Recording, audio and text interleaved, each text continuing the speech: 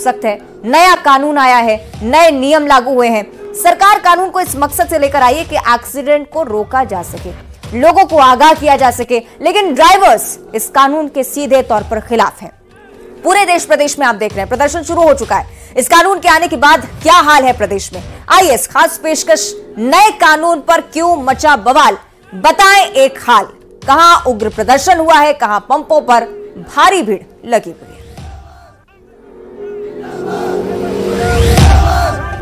और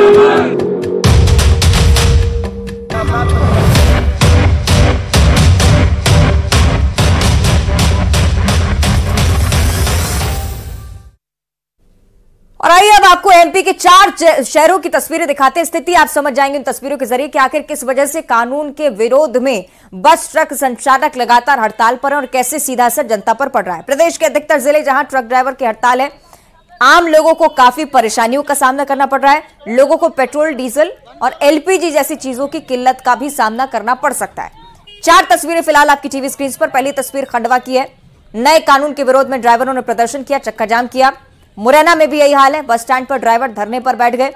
तीसरी तस्वीर भिंड से आप देख रहे हैं। सुभाष तिराहा पर वाहन चालकों ने नए कानून के विरोध में चक्का जाम किया है। प्रदर्शनकारी ड्राइवरों ने सरकार से कानून वापस देने की मांग की और चौथी तस्वीर हरदा ज़िले की। ड्राइवरों की हड़ताल से यात्रियों को काफ़ी परेशानी। और इसी के चलते अब लगातार माहौल में इस बात का भी ज़िक्र हो रहा है कि पेट्रोल डीजल की कीमत किल्लत अगर होती है और अलग अलग ज़रूरी सामानों की किल्लत होती है तो उसके लिए कौन जिम्मेदार आखिर होगा? क्योंकि सरकार से गुहार है तो सरकार की तरफ़ से अभी तक कोई भी जानकारी इस हड़ताल को लेकर या नए कानून को वापस लेने को लेकर अभी तक साझा नहीं की गई है। तो ये चार तस्वीरें हम आपकी टीवी स्क्रीन पर दिखा रहे हैं और ये तस्वीरें मकसद इसका है कि आप ये समझ सके कि ना सिर्फ़ ट्रक ड्राइवर परेशान है इस नए कानून से, बल्कि लोगों को सबसे ज़्यादा परेशानी हो रही है। हादसों के आंकड़े भी आपने देखे और इन आंकड़ों में कमी आ सके, इसका प्रयास कानून व्यवस्था की तरफ़ से किया जाना था, और इसलिए शायद सरकार की तरफ़ से इतना कड़ा नियम कि अगर हिट एंड रन का मामला पाया जाता है तो आपको 10 लाख रुपए का जुर्माना भरना होगा। साथ ही सात साल की कारावास की सजा आपको होगी। पुराना कानून क्या था उसकी भी पॉइंट हम आपको बता रहे हैं। दो साल की सजा अधिकतम होती थी। ड्राइवर को थाने से जमानत भी मिल जाती थी, लेकिन अब ये काने ये जो कानून है, वो कड़े हुए हैं। मकसद इसके पीछे के आंकड़ों में कमी आए एक्सीडेंट्स में कमी आए, लेकिन सख्ती से ज़्यादा लोगों को अपने जान का डर सता रहा है, क्योंकि हिट एंड रन का मामला जब जब हुआ है, या अगर कोई भी एक्सीडेंट होता है तो ड्राइवर को जिम्मेदार मानते हुए सबसे पहले उसके साथ मारपीट की जाती है। मॉब लिंचिंग की खबरें आपने कई कई बार देखी है। इसी पॉइंट को लेकर ट्रक ड्राइवर्स की तरफ़ से हड़ताल की जा रही है। टैंकर ड्राइवर्स की तरफ़ से हड़ताल की जा रही है कि जब भी दो वाहनों में टक्कर हो रही हो, भारी और मालवाहक वाहन को जिम्मेदार ठहराया जाता है और ड्राइवर की घटनास्थल पर अगर हालत ठीक है तो मॉब लिंचिंग की जैसी जो घटनाएँ वो सामने आती है और कई बार मारपीट ड्राइवर्स के साथ होती है। दूसरी तरफ़, कानून सख्त होने के चलते ट्रक ड्राइवर्स की हड़ताल तो है ही। जमीनी स्तर पर खामियाजा भुगत रहे आम लोग, क्योंकि ना सिर्फ़ ट्रक और डंपर बल्कि कुछ ऐसी जगह भी हैं, छत्तीसगढ़ के कुछ इलाके ऐसे भी, जहाँ बस संचालकों की तरफ़ से भी हड़ताल शुरू कर दी गई, बस ड्राइवर्स भी हड़ताल पर चले गए हैं। उनकी तरफ़ से भी कहा जा रहा है, अगर किसी प्रकार की दुर्घटना होती है तो हम इतना भारी भरकम चालन नहीं बढ़ सकते हैं।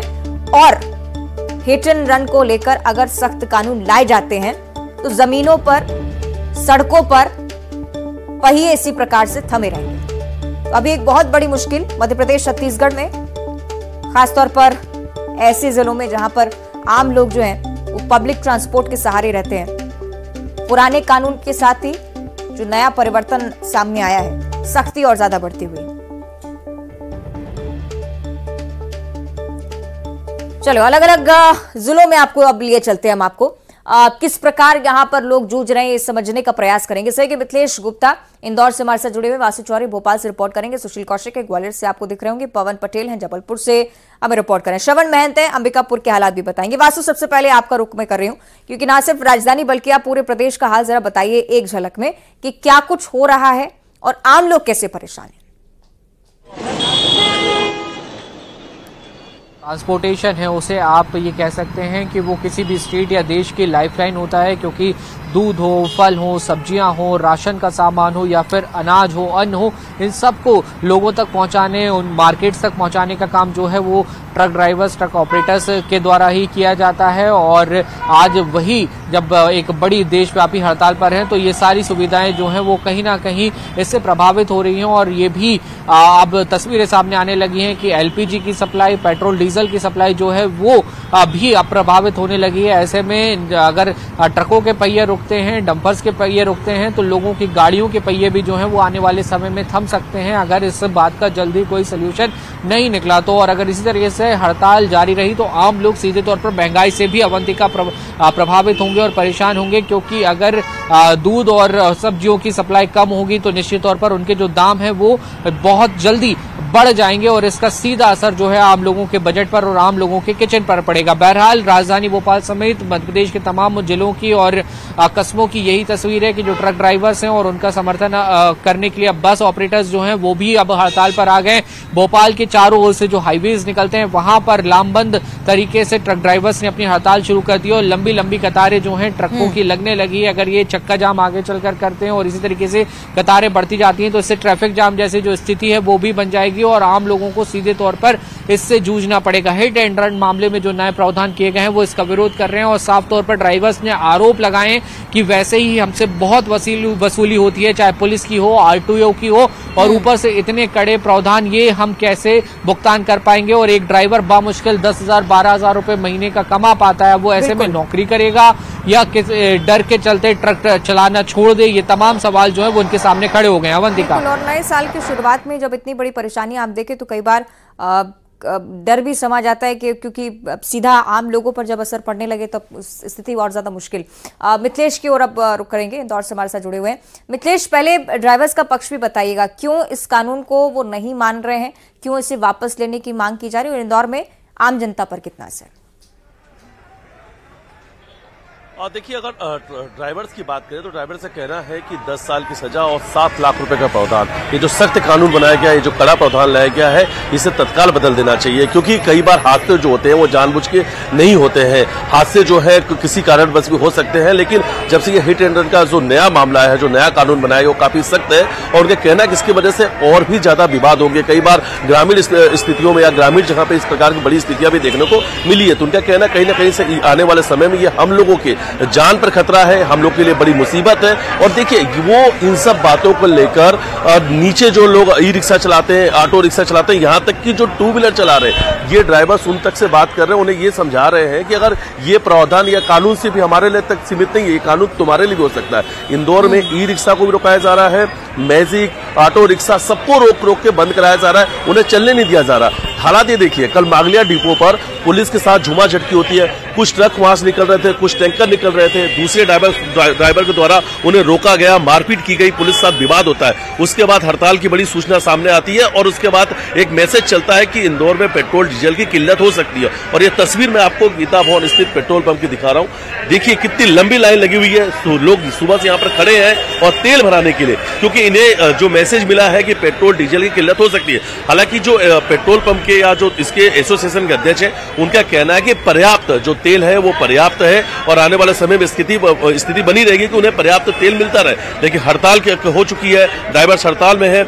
अगर ट्रक नहीं चलेंगे टैंकर्स हाँ। नहीं चलेंगे तो इस पेट्रोल पंप तक तेल कैसे आएँगे। दूसरी बड़ी जानकारी मैं आपको इंदौर से दे रहा हूँ।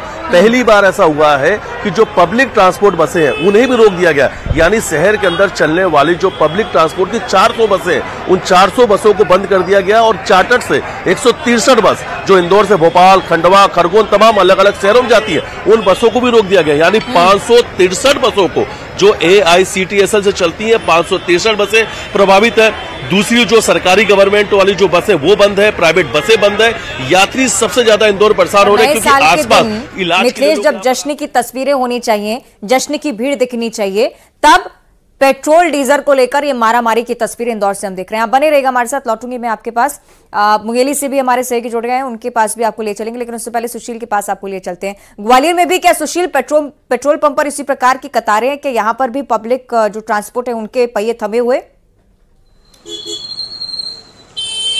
बिल्कुल, देखिए, ग्वालियर में भी कहीं ना कहीं अगर कहें तो जो हिट एंड रन कानून है, उसको लेकर लगातार विरोध देखने में मिल रहा है। यहाँ ग्वालियर के आसपास के जितने भी हाईवे हैं, उन हाईवे पर लंबी लंबी वाहनों की कतार है।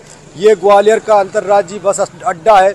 इस बस स्टैंड से साढ़े पाँच सौ से ज़्यादा यात्री बसें रोज़ाना चलती हैं, लेकिन हिट एंड रन कानून के विरोध में यहाँ पूरी तरह से ट्रांसपोर्टरों ने हड़ताल कर रखी है और इस हड़ताल की वजह से पूरे इलाके में आप देख सकते हैं कि बसें पूरी तरह से बसों के पहिए थमे हुए हैं और इस इलाके में जहाँ बसों की चहल पहल होती है, यात्रियों की चहल पहल होती है, आज वहाँ सन्नाटा छाया हुआ है। दरअसल जो ड्राइवर से वो हिट एंड रन कानून का विरोध कर रहे हैं, उनका यही कहना है कि पहले ही ड्राइवरों के सामने सबसे बड़ी परेशानियाँ होती है।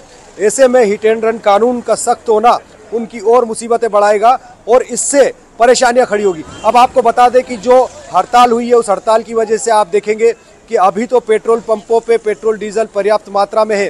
हम्म। लेकिन अगर इसी तरह से ट्रकों के टैंकरों के पहिए जाम रहते हैं तो आने वाले 48 घंटे में डीजल और पेट्रोल की भी किल्लत हो सकती है उससे परेशानियाँ हो सकती है। इसके अलावा यात्री वाहन के चक्के थमे हुए हैं। शहर के अगर देखें तो बारह से ज़्यादा ऑटो भी पूरी तरह से बंद है। जो ऑटो थोड़े चल रहे हैं उनको भी यहाँ बंद कराया जा रहा है। और इनका यही कहना है कि ये जो कानून है, कहीं ना कहीं एक तरह से ड्राइवरों के लिए काला कानून है, इससे ड्राइवरों की परेशानियाँ और बढ़ेगी।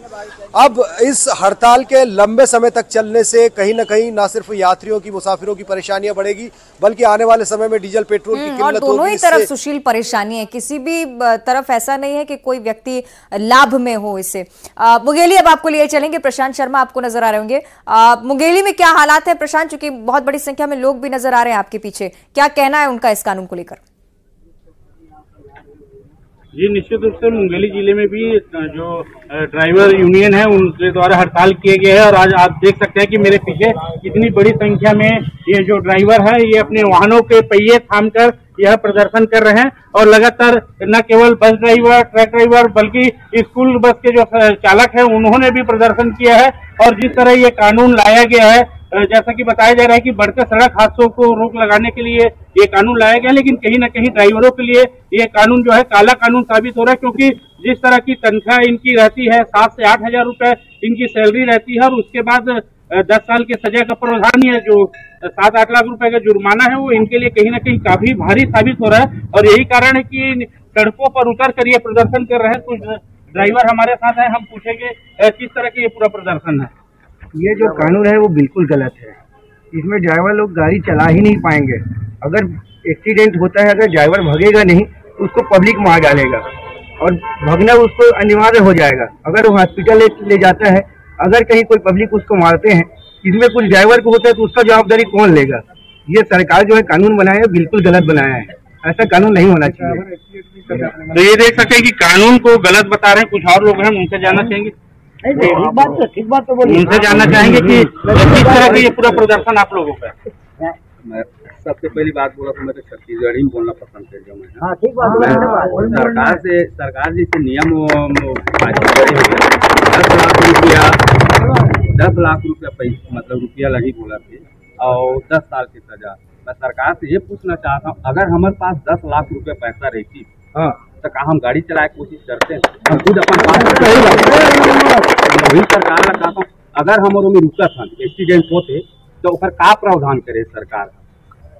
आप लोग का प्रदर्शन किस तरह कब तक रहेगी? ये जब तक नहीं नहीं होगा हम लोग ये मतलब काना काला कानून जब तक वापिस नहीं हुई तब तक ये रही आंदोलन तो आप देख सकते हैं कि जो ड्राइवर है यूनियन संघ है इनका जो प्रदर्शन है वो लगातार जारी है।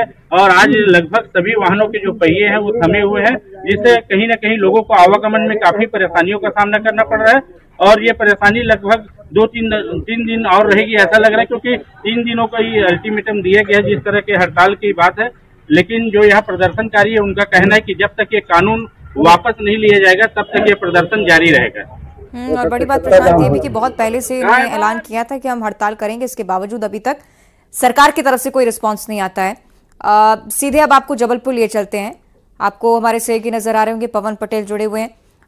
पवन पेट्रोल पंप है शायद आपके पीछे। यहाँ पर भी क्या लोगों को इसी बात का डर कि पेट्रोल की किल्लत होगी? जी बिल्कुल अवंतिका जबलपुर में भी तस्वीरें जो बता रही हैं वो यही बता रही हैं कि लोगों के मन में डर है कि पता नहीं कितने दिनों तक ये हड़ताल चलती है। और अगर पेट्रोल पंपों में पेट्रोल खत्म हो गया तो फिर उनका क्या होगा? क्योंकि नौकरी धंधा व्यापार करने वाले लोग, स्कूल, कॉलेज जाने वाले छात्र, कामकाजी, महिलाएँ, ये तमाम लोगों के मन में यही डर है और इसी वजह से ये तस्वीरें आपको दिखाना चाहूँगा कि पेट्रोल पंपों में लोगों की भीड़ लगी हुई है और ये तस्वीर सिर्फ़ आज नहीं है, बल्कि कल भी ऐसी ही तस्वीर हमने देखी थी कि जब पेट्रोल पंपों में लोगों की भीड़ लगी हुई थी। तो जो कानून सरकार ने बनाया है, वो कानून बनाया है हादसों को रोकने के लिए, यानी समझा जा सकता है कि कानून पहले भी था, लेकिन इस बार सख्ती बढ़ाई गई है, जुर्माना बढ़ाया गया है, सजा का प्रावधान बढ़ाया गया है, और ये उस स्थिति में है कि जब एक्सीडेंट होता है तो जैसे पहले एक्सीडेंट होने के बाद में कानून की प्रोसीडिंग होती थी, कोर्ट में केस चलता था, वैसा ही इस बार होगा, लेकिन लोगों के मन में डर ये है कि इस बार सीधे सजा हो जाएगी। तो कहीं ना कहीं इस कानून का विश्लेषण करना और लोगों को समझना ज़रूरी है, ताकि इस तरह की स्थिति ना बने। फ़िलहाल पेट्रोल पंपों में जो भीड़ लगी हुई है उसके बाद जो स्थिति है पेट्रोल पंप संचालकों का, जो अभी तक कहना रहा है, वो यही है कि हमारे पास पर्याप्त है।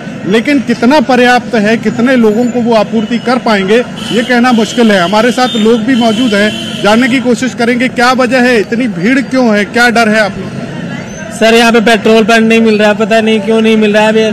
सुनने को मिला है कि कोई हड़ताल मची है, जिसकी वजह से इतनी पेट्रोल नहीं मिल रही। अब सुनने को तीन तारीख को मिलेगा पेट्रोल।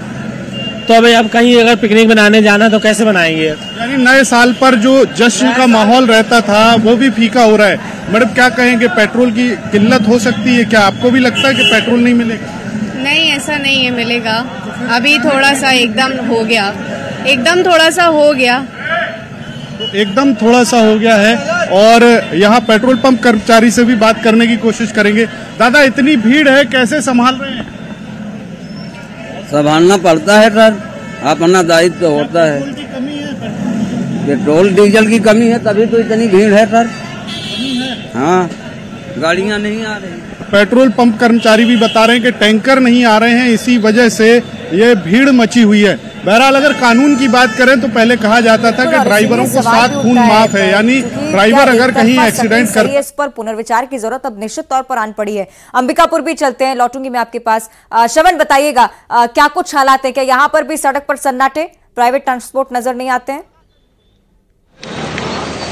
देखिए, आज सुबह से ही जो है चालक संघ ने प्रोटेस्ट करना शुरू किया है और जो बसें हैं, करीब 500 से अधिक बस जो ज़िले से संचालित होते थे अलग अलग ब्लॉक मुख्यालय में जाते थे, अलग राज्य में जाती थी, उनके पहिया थम चुके हैं और हज़ारों की संख्या में आज सुबह पाँच बजे से लेकर करीब छः घंटे से अधिक वक्त जो चालक थे, वो यहाँ पर प्रदर्शन कर रहे थे, उग्र प्रदर्शन कर रहे थे और उनको समझाने के लिए तमाम जो प्रशासनिक अधिकारी और जो पुलिस थे, वो समझाइश दे रहे थे। इसके बावजूद जो है वो प्रदर्शनकारी जो हिट एंड रन मामले के नए कानून को लेकर लगातार ये बता रहे थे कि ये काला कानून है और जो चालक है उनके लिए ये खतरा है क्या कि जिस तरह से हादसे होते हैं, वो कहीं बता करके नहीं आते और अगर हादसे के बाद अगर हम वहाँ पर रुक जाते हैं तो उनकी जान को भी खतरा रहता है और जिस तरह से जो सजा का प्रावधान है, कानून में बताए गए हैं और इसके साथ ही जो जुर्माना की जो रकम है वो सात लाख रुपए है तो ये इतनी बड़ी रकम है और ड्राइवरों का कहना था कि